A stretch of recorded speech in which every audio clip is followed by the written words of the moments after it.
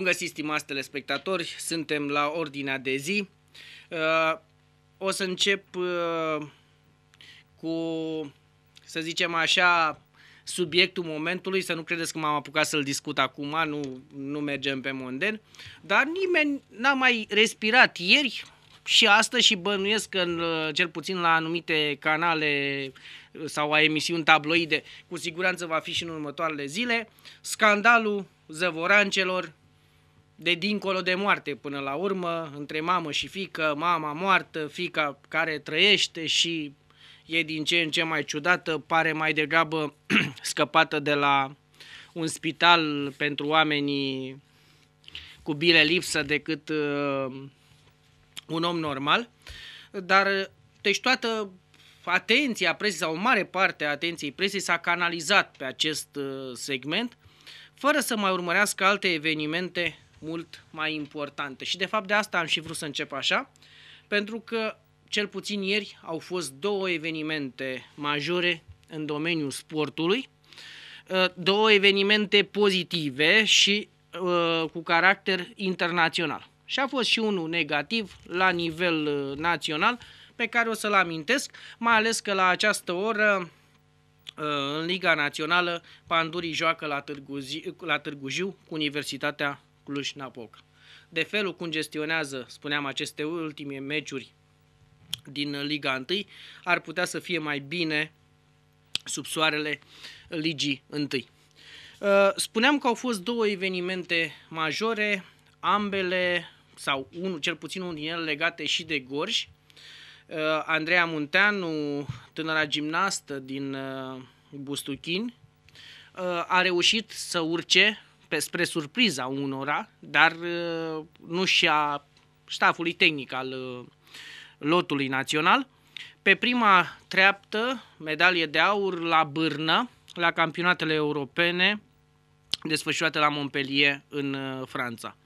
Performanță foarte bună, de fapt așa a fost salvată onoarea lotului național de gimnastică feminină, pentru că până atunci nu reușisem să facem performanță în afară de aceste calificări și am mai avut calificări în finale și la sol, dar fără rezultate uh, notabile. Uh, spuneam, mi s-ar fi părut mai corect să vorbim de performanțele de la, de la gimnastică sau imediat o să vorbim și de cele de la tenis, decât de aiurerile gen uh, Zăvoranul 1 și 2, adică mamă, mamă și fică și toate problemele care au apărut, cu vezi mormântarea, nu e mormântarea și alte, și alte chestii. Bun, a doua performanță, cum spuneam, uh, echipa de Fed Cup, de tenis feminin, a reușit uh, o performanță care nu părea posibilă, mai ales din momentul când uh, Simona Halep a anunțat că nu se prezintă, ba a venit și următorul forfe.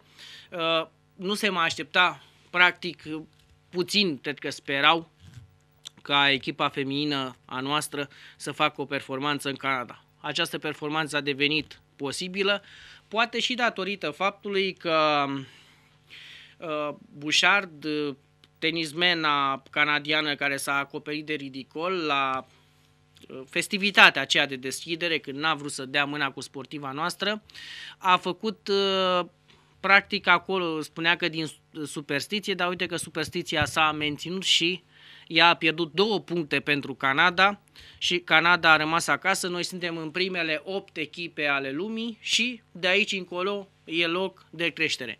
Adică dacă avem un număr 3, probabil număr 2 în viitor sau numărul 1 mondial, Simona Halep, avem în primele 30 încă cel puțin o jucătoare, dacă nu două, foarte curând și în prima sută încă vreo două, trei.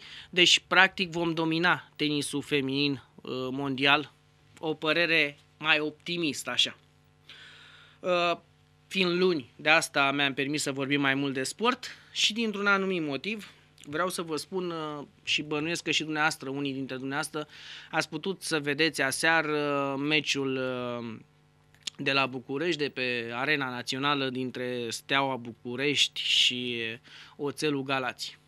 Scorul știți acum, Oțelul a reușit să obțină locul 18 cu locul 1, a reușit să obțină o victorie cu 2-1 în extremis, având în vedere că Steaua arăta și 11 metri la sfârșitul celor 90 de minute, dar nu asta a fost problema, ci uh, pare să se întâmple ceva în Liga 1, să se întâmple din nou ceva și credeți-mă, apropo de DNA, de parchetul general, de poliție, nu prea par să fie foarte interesate de ce se întâmplă acolo. Și o să vă spun ceva. Țineți minte cu ani în urmă când a câștigat campionatul Unirea Urziceni, a câștigat campionatul CFR Cluj, a câștigat campionatul Oțelul Galați. Echipe care au trecut efemer, după cum se vede și s-a văzut în ultimii ani, numai că nu au făcut performanțe europene, dar campionatele uh, câștigate de aceste echipe au avut un is ciudat. Adică s-au câștigat cu arbitraje, cu meciuri ciudate, cu meciuri vândute și nu mă tem de a spune acest lucru. Uh, nu se recunoaște încă sau nu se dorește încă să se, nu, să se ancheteze aceste cazuri, dar eu zic că s-ar putea descoperi multe lucruri interesante. Uh, bine, și jocurile la pariuri ale echipelor. Uh, deci eu vă, uh, vreau să vă spun, apropo de subiectul Petrolul Ploiești, eu cred că această echipă se, sau jucătorii de acolo se autofinanțează prin jocurile la pariuri. Nu poți să-ți explici atunci atât de ciudată este evoluția acestei echipe în ultimele etape. Dar mă întorc la meciul de aseară. Știți și ați văzut că au confirmat toți analiștii, toți, inclusiv Crăciunescu, care este și un analist pe un post de televiziune, dar este un arbitru de luat în seamă, fost arbitru mare internațional. Au fost două lovituri de la 11 metri văzute, de puteau fi văzute și din avion. Arbitru respectiv, mă scapă numele în momentul de față, oricum, irelevant ca și calitate a arbitrajului prestat, are vina, deci efectiv s-a uitat în altă, în altă direcție, n-a vrut, deși era foarte aproape de multe ori de fază, să dea aceste lovituri de la 11 metri. Un hand și un fault, care vă spuneam se vedeau din avion. Încep să mă întreb acum, și am văzut un clasament făcut de cei de la Gazeta Sporturilor, câte greșeli au fost în, fav- în favoarea lui Asa Târgu Mureș. Da, ă, deci Nasea, Nasea Târgu Mureș, ă, favorizată de arbitrii, pe partea cealaltă, ă, situația foarte ciudată la Steaua, unde este defavorizată pentru prima dată după ani de zile, Steaua este defavorizată în mod, în mod clar. Cred că cei de la federație și-au propus să avem un alt câștigător. Bun, acum ar fi o problemă și una de bun augur să zicem, bun, nu mai câștigă Steaua, am văzut-o de 2 ani că domină fotbalul românesc de ceva ani, dar avem convingerea că Asea, Asea Târgu Mureș va supraviețui, că va putea să facă performanță? Ar trebui să ne gândim și așa. Și nu în sensul, deci, de a nu influența jocul sportiv. Performanța sportivă ar trebui să fie într-o singură, într-o singură direcție. E, asta nu se întâmplă la noi, stabilind câștigătorii în birourile de la federație și cu arbitraje care sunt uh, uneori jenante. Uh, îmi spunea comentatorul de aseară, unul din ei, având în vedere că s-a transmis pe mai multe canale, uh, da, domne, dar a tratat cu aceeași unitate de măsură două faze și a văzut el uh, și în uh, Franța că s-a tratat același, uh, la fel o, o fază. Bun, e posibil. Dar arbitrajul nostru este din ce în ce mai slab și culmea că avem pe Vasara sau cum îl cheamă șeful arbitrilor. Deci arbitrajul s-a prostit rău în retur și nu se întâmplă și, ace- și atenție, se petrece ciclic acest lucru, mai ales uh, și în momentul când uh, în partea a doua a campionatului totdeauna avem probleme și greșelile sunt din ce în ce mai multe, pentru că eu cred că arbitrii noștri sunt influențați într-un fel sau altul. Deci, aten- aviz organelor de anchetă, cred că lumea fotbalului ar trebui verificată mai atent, pentru că nu e în regulă ce se întâmplă. Pornind de la acest jur, dar sunt și altele, se, se întâmplă lucruri ciudate și, atenție, lucruri care supără nu mai sute de mii de suporteri ai echipei, în cazul acesta Steaua, dar sunt lucruri care se văd cu ochiul liber. Deci nu poți, nu, nu e în spiritul jocului, nu, e, nu poți să ai argumente în favoarea acestor greșeli și arbitrul respectiv să nu plece acasă pentru o perioadă mai scurtă sau mai lungă de timp. Rămâne să vedem dacă se va întâmpla ceva în acest domeniu, dar părerea mea că sunt, uh, sunt slabe șanse să se întâmple acest, uh, acest lucru. Bun, pentru că tot veni uh, vorba de ce se întâmplă la acest moment în viața de zi cu zi, suntem într-o situație de a râsul plânsul la Senat și acum senatorii uh, încearcă să găsească o soluție după o sesizare, o cerere a, de, sau mai multe cereri ale DNA-ului ca să facă rost de niște acte de la Senat privind suspen, uh, ridicarea imunității în ultimii doi ani la nivelul Senatului, se cer niște acte, se pare că procedura n-a prea fost în regulă, uh, presiunea este foarte mare să se ia o hotărâre, o hotărâre scrisă care să meargă, să zicem, la Curtea Constituțională, Uh, n-am înțeles de ce, dar cu, oricum uh, e clar un conflict între unde o instituție reprezentantă a puterii judecătorești și o instituție reprezentantă, de fapt, chintesența puterii legislative, una din camerele Parlamentului. Situația este ciudată, nu ne-am mai întâlnit cu asemenea situație, nici nu știi cum să o comentez, dar acum cinstit vorbim bun. Am aflat că în România uh, putem să facem, deci oricine poate verifica pe oricine. Deci, dacă și Senatul poate fi verificat de DNA și Camera Deputaților la fel și Guvernul, probabil că și președintele, înseamnă că avem o instituție mai tare decât celelalte. Mie așa mi se pare. Dar Cristian Pârvulescu, știți, directorul sau președintele Pro-Democrația a avut uh, astăzi o intervenție uh, în spațiu public, o intervenție foarte interesantă pentru că, atenție, e vorba de un profesor uh, de drept și în același timp e președintele Asociației Pro-Democrația, una dintre asociațiile importante din România, cea care a coordonat sau a supervizat alegerile din România și procesele democratice din ultimii 20 de ani. Uh, o să prezint poziția domniei sale pentru că este singura și este unică în această direcție, urmând ca după aceea dumneavoastră să analizați unde ar fi problemele, dacă sunt, că poate nu există niciun fel de uh, nu există niciun fel de problemă. Și anume, în cursul zilei de luni, în spațiu public a apărut un document semnat șefa Direcției Naționale Anticorupție, Laura Coduța Chioveși, în care regăsim două propuneri controversate de modificare a Constituției. În sensul în care arestul preventiv să fie mărit de la 24 la 72 de ore și respectiv limitarea imunității parlamentare doar la declarații politice. Pornind de la aceste două propuneri făcute de DNA, Uh, psnews.ro l-a contactat pentru un punct de vedere pe profesorul Cristian Pârvulescu, cum vă spuneam. Politologul a punctat că în primul rând nu știe în ce calitate uh, DNA face astfel de propuneri și că din punctul său de vedere DNA alături de CSM, Consiliul Suprem al Magistraturii, par să-și depășească binișor prerogativele constituționale. Cristian Pârvulescu a mai precizat că există o problemă serioasă în, în ceea ce principiul separației puterilor în stat și s-a întrebat dacă în România există puteri sau autorități. Cităm.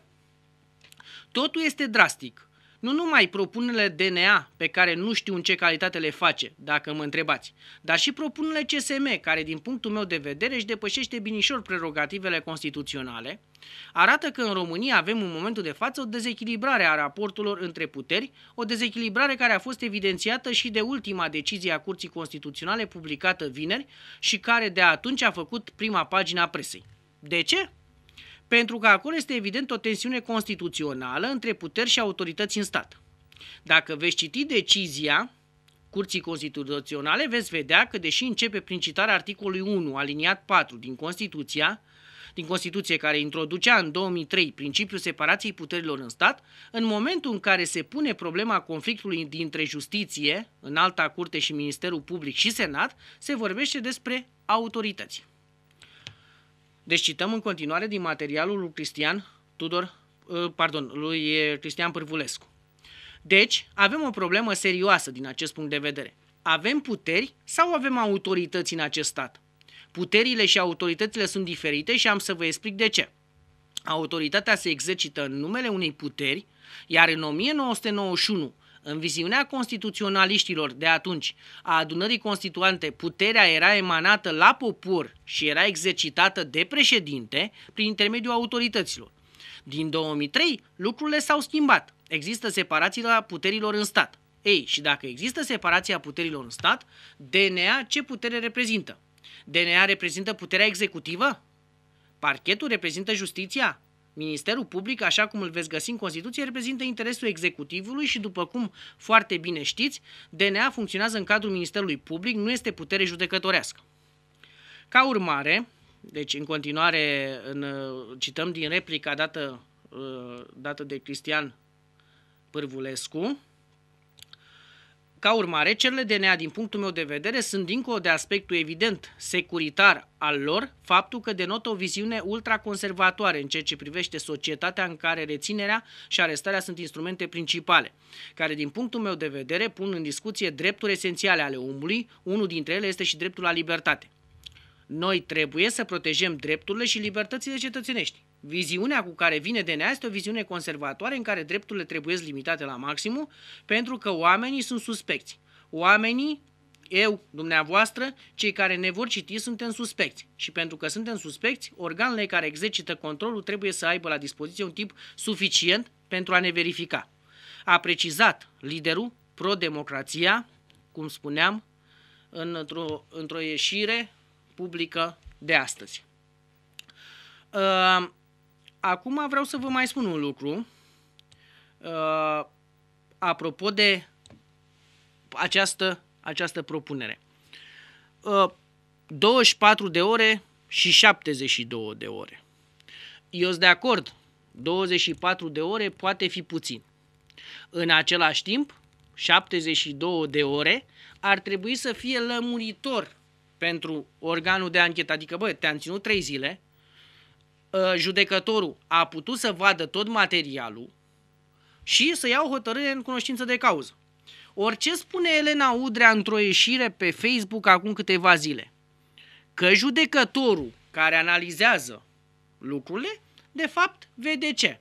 Vede doar rechizitorul în general, pentru că nu are timp să citească dosarul și dacă sunt 10 dosare pe zi și acelea cu multe bibliorafturi, orice om normal la cap își dă seama că nu are cum să le citească.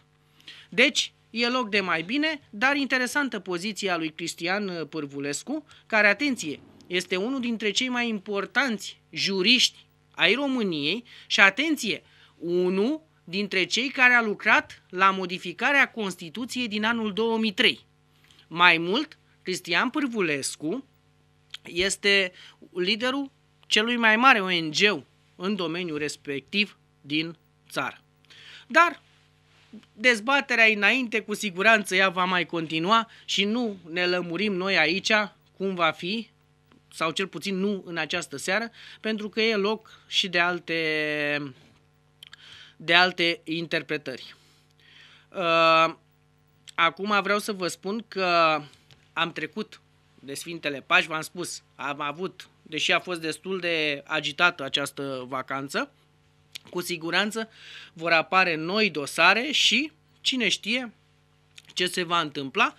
Poate că vom avea și nume celebre printre, printre cei care vor ajunge pe la DNA, inclusiv probabil fostul președinte ca Traian Băsescu, care mai nou a făcut un scandal monstru la o post de televiziune vineri seara, unde s-a dus, se pare, totuși neinvitat și a cam dat cu ziariștii pe jos, adică a făcut șmotru cu ei, E adevărat că și aceștia l-au acuzat de cât e în lună și în stele. Acum depinde cine a văzut emisiunea, că și aici e o problemă și să știți că așa a fost totdeauna, apropo de problemele de comunicare. Cei care au văzut emisiunea respectivă au spus uh, fanii uh, lui Rareș Bogdan și ai Realității TV. Mamă, ce a făcut Rareș Bogdan lui Băsescu, d și d Te uiți pe uh, acestea, pe rețelele de socializare și vezi chestia asta. Mamă, ce a făcut, a ieșit președintele super bine. Uh, a ieșit președintele super rău. Fostul președinte. De partea cealaltă, fanii lui Băsescu și de unde îți dai seama că în online nu sunt deloc puțini dacă ne uităm după ce reacții au fost, spun, mamă, președintele Marinaru și ăsta a făcut șmotru cu uh, ziariștii respectiv, care l-au atras într-o capcană, dar el cu amare om politic, așa, unul născut în ultimul secol, cu ghilimele de rigoare, a reușit să iasă din încercuire. Părerea mea că adevărul e undeva la mijloc și n-a fost deloc așa, dacă ați văzut emisiunea, dar e cu totul, cu totul altceva. Însă aș vrea să vă spun, aș vrea să vă spun însă un lucru foarte inter... deci uh, apropo de problemele de comunicare. Și anume, uh, campanie, uh, campaniile electorale în general aduc, cel puțin în Occident, specialiști pe diverse domenii.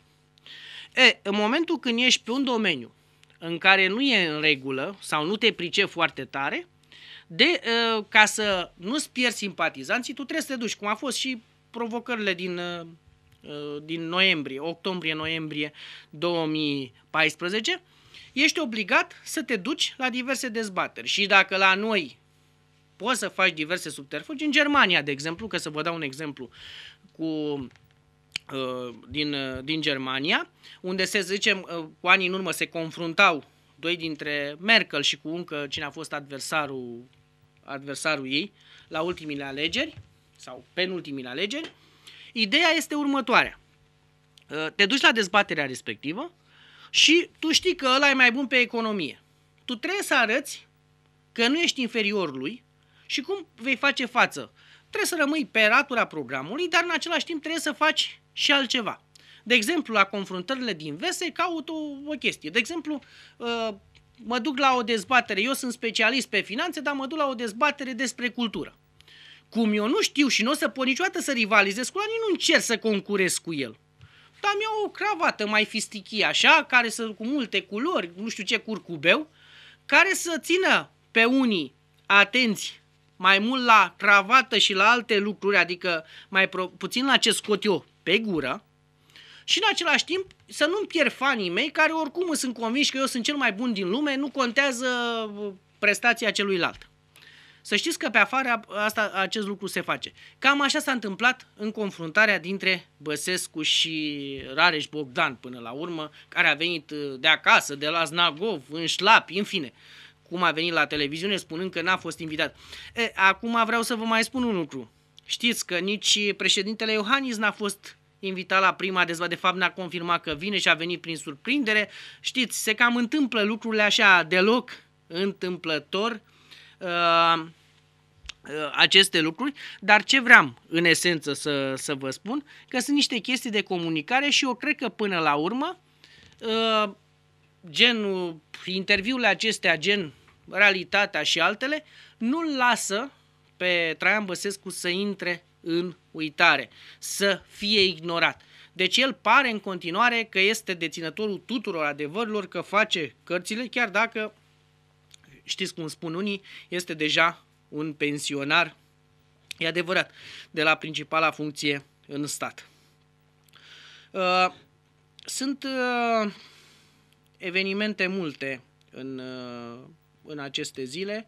Cum spuneam, uh, unul din ele se referă la dezbaterile pe, uh, pe seama cazului Zăvoranu și cu toate problemele lor. În același timp, uh, avem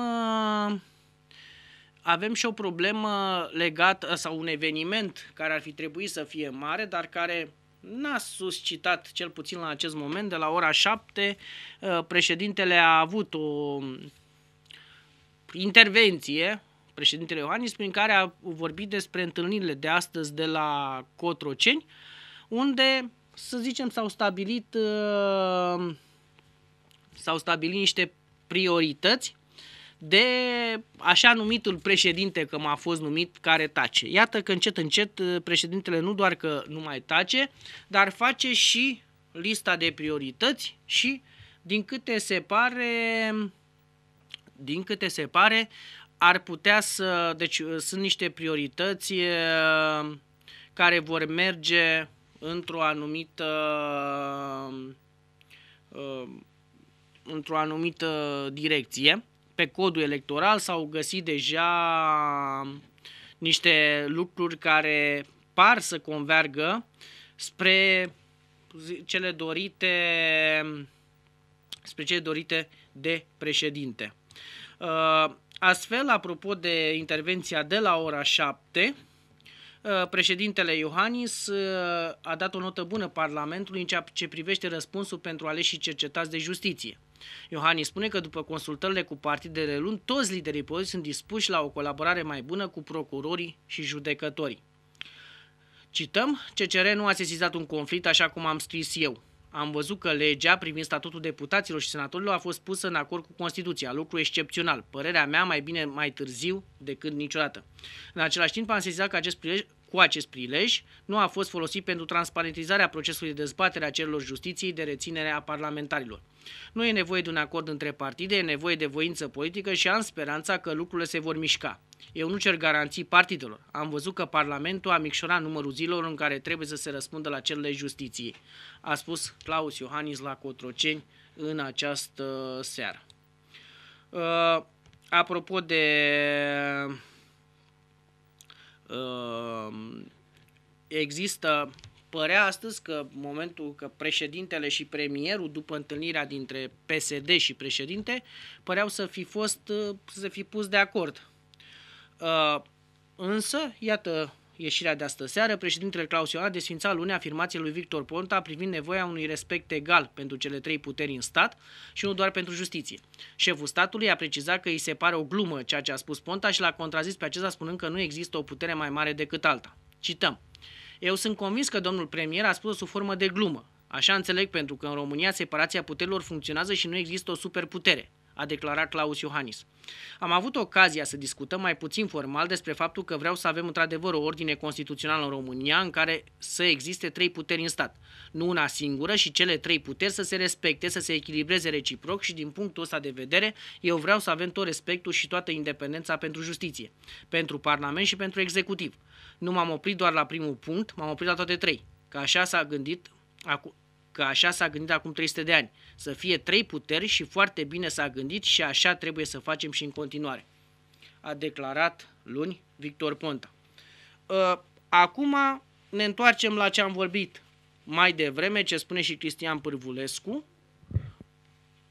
Deci, e greu de înțeles această speță și cu siguranță va mai dura până se vor pune de acord, dar ce este uh, în momentul de față foarte clar uh, e că ceva nu funcționează.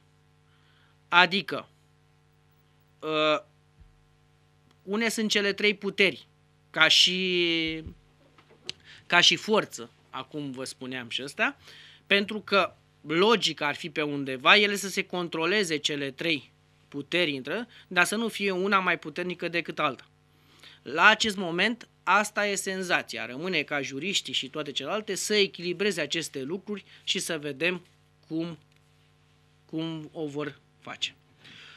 Uh, apropo de uh, evenimentele, să spunem așa, uh, evenimentele zilei, Uh, a trecut așa uh, mai pe șustache, în sensul că nu s-a vorbit foarte mult. Au și fost uh, foarte multe știri astăzi, pe lângă, vă spuneam, și de ce se întâmpla la Cotroceni, pe ce se întâmplă în Senat, ce se întâmplă nu știu ce.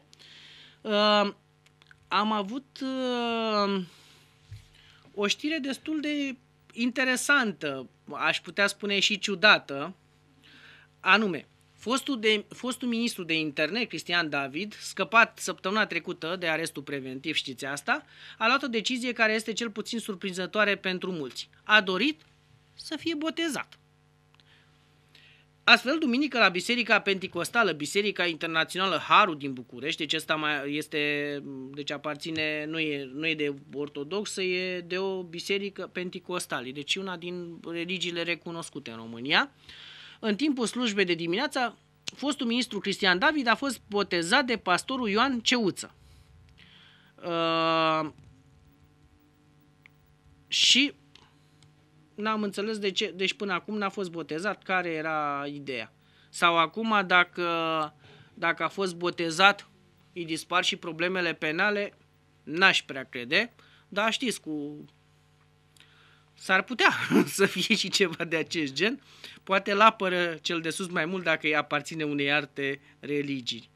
Ehm, acum vreau să vă spun am mai avut o problemă și vreau să vă spun că presa, sau cel puțin o anumită parte a presei, dar aici și-au cam dat mâna, au făcut o arșice pe o senatoare PNL, îi se numește acum senatoarea Cuafor, uh, care a avut curajul să spună că ei salariul de la Senat, adică vreo 40 de milioane, ceva de genul, nu-i ajunge nici pentru coafor.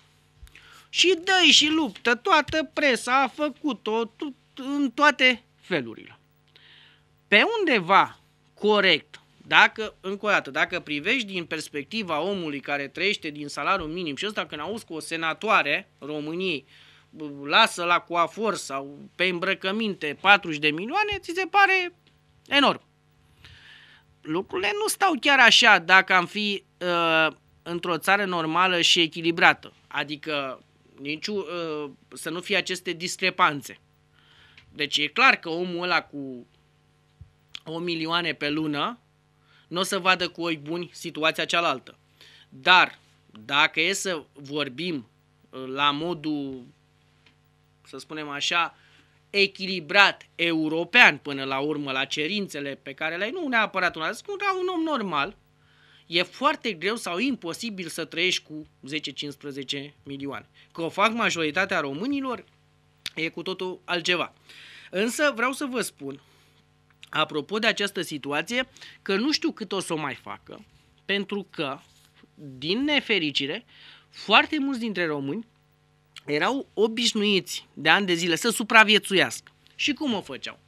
Ba mai ceva pe la țară, ba mai e, învârteau câte o mică afacere, ba o e, în sensul că mai câștigau ceva la negru, ba fiecare se descurca cum putea, ba mai vindea ceva. Faptul că se strânge șurubul acesta uh, anti-evaziune s-ar putea să fie o mare problemă și din acest, uh, și din acest punct de vedere. Dar, întorcându-mă la senatoarea, acest, de la senatoarea liberală, încă o dată vă spun, nu e greșit ce a spus ea, că este insuficientă suma, așa e. e este, insu, este cu siguranță foarte mică suma celor care sunt în diverse în diverse întreprinderi, în diver... ce mai există în România, adică cei care lucrează cu minimul pe economie. Cum la fel, acum asta e problema, deci atenție, cei care se mulțumesc cu minimul pe economie, dar care de regulă câștigă dublu sau poate chiar triplu, avem o altă problemă. Și asta este evaziune. Deci, de multe ori, cei care dau lecții și ăsta că el trăiește din salariu minim, coboară din, în orice caz, deci veniturile lui sunt mult mai mari, da, acceptă chestia aceasta, nu se gândește neapărat la pensionare și în schimb câștigă foarte mult în mână. Și asta este evaziune și asta trebuie curmat. Bun, deci încă o dată vă spun, nu dezaprobăm deloc declarația senatoarei, chiar dacă presa s-a obișnuit să facă chestia asta, că vorbește presa, s-a obișnuit să vorbească în numele celor mulți, numai că cei mulți nu prea mai urmăresc, să zicem, o anumită parte a presei și trebuie văzut ce trebuie făcut pentru a corecta aceste neajunsuri. A spune nu, că n-are voie să spună, adică a îngropa, a băga sub preș anumite adevăruri, este o, este o mare problemă. Gândiți-vă că avem, apropo că e cazul de senat, sunt 100 și ceva de senatori. Din femei, probabil cam o treime, dacă sunt. Trebuie să vină, uh, e, rep, reprezintă un, un stat, statul român. Și nu mă refer aici la cei care rep, au funcție de reprezentare. Strict la oamenii simpli. Nu te poți încadra cu nimic. Dacă te uiți la cheltuielile uh, unei familii normale, te duci la sume destul de mari. Nu vă luați după statistici că acel coș minim să te încadrezi cu el nu știu unde. Și totuși aceste costuri se acoperă. Cum se acoperă? Doar în România puteți să vă imaginați, pentru că pe altă parte, în altă parte, lucrurile sunt mai transparente. Uh, acum, uh, vreau să vă spun că sunt vin și vești bune. Uh, dacă e adevărat ce se vorbește în momentul de față în mediul politic, uh, se pare că se pregătește o măsură care ar putea să scadă facturile la întreținere. Bine, acum asta, aceste măsuri se ia de regulă iarna ne-ar avantaja mai puțin în timpul verii, dar decât de luăm bine și, a, și acum. Uh, deci s-a discutat astăzi în grupul PSD de la Senat, deci al guvernanților, despre reducerea TVA la apa curentă rece, nu și la cea caldă. TVA urma să scadă la 9% pentru apa rece consumată de populație în limita a 5 metri cubi de gospodărie. Există deja un proiect în Parlament care își propune reducerea totală a TVA-ului la apa curentă, însă părerile sunt împărțite. Uh, unii vor eliminarea TVA-ului la apa în limita a 5 metri cube, alții vor păstrarea unui nivel al TVA de 9%. Uh, și această reducere TVA ar fi importantă pentru ăștia 5 metri. Dar, deși consumul cred că este pe o gospodărie normală, consumul este cel puțin dublu. Cam așa, cam în jur de 10 metri cred că este consumul normal pe o lună. Uh, haideți să mergem mai departe și venim spre știrile mai, uh, să spunem așa, să venim încet încet și spre, spre județul Gorj. Uh, mai ales că aici avem o, uh, o situație mai, uh, mai ciudată, în sensul că tot la nivelul spitalului județean, tot sau spitalul județean de urgență, sunt diverse schimbări. Una dintre ele, care s-a făcut astăzi, cel puțin astăzi afla presa, Spitalul Județean de Urgență Târgu Jiu are un nou director de îngrijiri. Daniela Fotescu, cea care ocupa această funcție, a fost înlocuită, potrivit colegilor de la Panduri, cu Mariana Gridan, asistentă în cadrul unității spitalicești care a mai ocupat postul în trecut.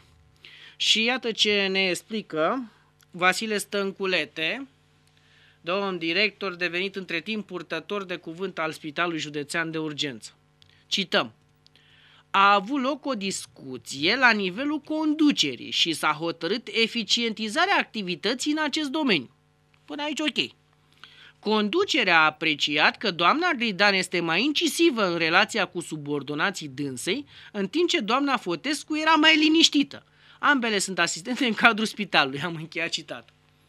Deci, una era mai incisivă, probabil că și bate, nu? Am glumit și una era mai liniștită. Adică una zbiară și una e calmă. Ciudată exprimarea pentru un purtător de cuvânt. Probabil domnul Stănculete n-avea cuvintele la el. Dar interesant uh, motiv de interesant motiv de, de schimbare în, în funcție. Uh, apropo de, știți, că nu putem vorbi asta, adică nu că nu putem vorbi, ne interesează mai puțin, nu se întâmplă evenimente memorabile în energie și datorită faptului că, știți, CEO este în concediu cel puțin o parte din o parte din, din CO, deci cei care lucrează în producție directă sunt în, în concediu acela forțat și probabil că vor veni vremuri și mai grele, pentru că acel, uh, acel contract cu Serbia este pe cale să cadă sau deja a căzut. Uh, noi am fost pregătiți deja de directorul general care ne-a spus că probabil, dar de regulă când apare acest probabil este cam sigur, contractul cu sârbii declarat uh, de unii, deci uh, declarat de conducerea CEO ca o mare realizare și declarat de o anumită parte a presei de o mare șușe sau un, un, un mare jaf, uh, încetează. Deci, practic, nu se mai livrează cărbunele către sârba, din contră sârbii s-ar putea să cumpere sau deja au început diligențe să cumpere din Slovenia linit să nu mai ia de la noi. Ar fi interesant să aflăm acum uh, ce s-a ascuns în spatele acestui contract, de ce nu s-a făcut el între cele două state, România și Serbia, și s-a făcut prin intermediul intermediari, de ce acești intermediari n-au mai dat banii, de ce sârbii n-au mai vrut să lucreze cu românii și multe altele. Sau ce ne facem, ce se face CEU fără acele sume destul de consistente, milioane de euro care veneau din Serbia pentru cărbune și multe altele. De discutat, uh, de discutat acest, acest lucru pentru că uh, sunt lucruri care, care trebuie cumva uh, lămurite. A, vreau să vă spun că avem un scandal relatat și de presa, presa locală de astăzi, Știți, săptămâna trecută la Rovinare a fost chiar un concurs pentru direcția spitalului de acolo, dar concursul a desfășurat în timp ce era și o anchetă a poliției care anchetează Viagra. Adică, de fapt, de ce au dispărut câteva cutii de Viagra din farmacia spitalului și se pare că pastile respective au fost folosite de medicul sau luate sub oblăduirea medicului urolog de origine siriară, Kadur Aksam, care și domniei sale și altor medici le-a plăcut pastilele respective. Știți, pastila albastră celebră în, în toate în, în epocă și în orice caz de, ce, de ceva ani. Ce mă distrează sau în același timp e greu de lămurit. Ă, de ce doctorul respectiv sau cei care au luat, dacă folosesc asemenea medicamente, de ce nu le-au luat din magazin? Sau de ce a trebuit să le ia de ce a trebuit să le ia din farmacia spitalului unde puteau să fie să fie identificate la un moment dat cine le-a luat. Pentru că nu-i de acolo, e vorba de vreo 400 de milioane de lei vechi paguba.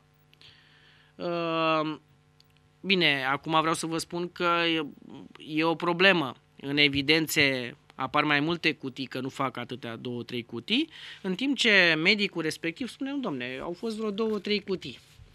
Dar ancheta ehm, e cumva mai la început, adică s-ar putea să fie, să mai dureze până, până se lămurește toată treaba. Dar ciudată situație, ca să nu spunem... Uh, uh, e vorba de vreo 12 pastile sau ceva de genul ăsta. Uh, nu cred că trebuia făcut toată. E o imagine destul de negativă care se duce spre spitalul de la Rovinari. Nu știu dacă și-o merită, dar uh, acum asta este. Uh, ziceam că, uh, apropo de că nu se întâmplă nimic în minerit. Bă, săptămâna trecută s-a întâmplat. În sensul că la Peșteana, știți, a fost un protest al uh, oamenilor care, Peșteana Sud, cred, că se pare că se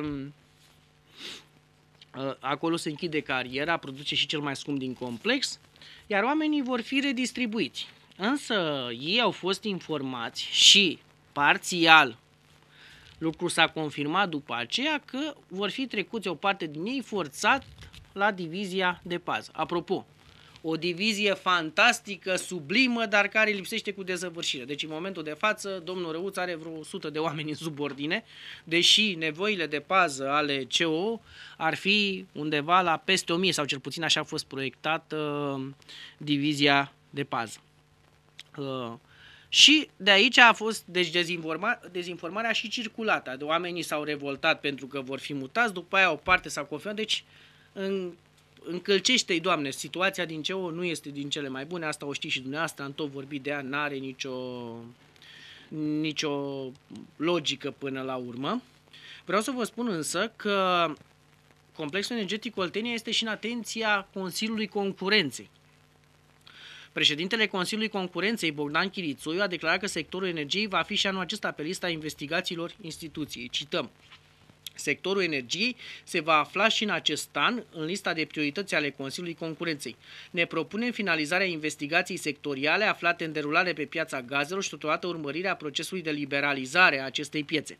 În domeniul ajutorului de stat, în 2015 vom continua colaborarea cu Guvernul și Comisia Europeană pentru privatizarea companiilor Poșta Română, CFR Marfă, Olchim, dar și pentru restructurarea complexului energetic Oltenia și a complexului energetic Hunedoara a spus, n-am înțeles ce are Consiliul Concurenței cu restructurarea celor două complexe, dar toată lumea se pricepe la, toată, la toate chestiile, așa că cine știe ce o mai fi. Uh, am aflat, printre altele, că s-au lămurit lucrurile și pe la Mimprest, avem un contract colectiv de muncă prelungit cu un an și s-a dat un contract adițional Uh, deci, apropo, știrile, dacă observați, uh, sunt făcute în general tot pe seama mineritului și energiei, mai puțin, apropo de domeniul economic, altceva. De ce? Foarte simplu. Nu prea ai ce să vorbești despre alte entități economice și, apropo de complexul energetic, aflăm că a dat 4 milioane de lei pentru masa caldă uh, fără TVA pentru masa caldă a minerilor din zona Motrului, deci pentru firma, o firmă din Mocazare, Cantine Motru. Acestea sunt, să spunem așa, principalele evenimente din Gorj.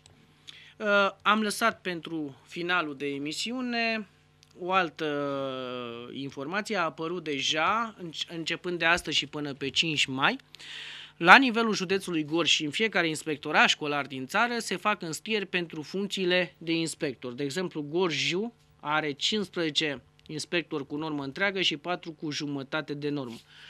Toate aceste posturi sunt scoase la concurs, dosarele se depun, au început astăzi și până pe 5 mai.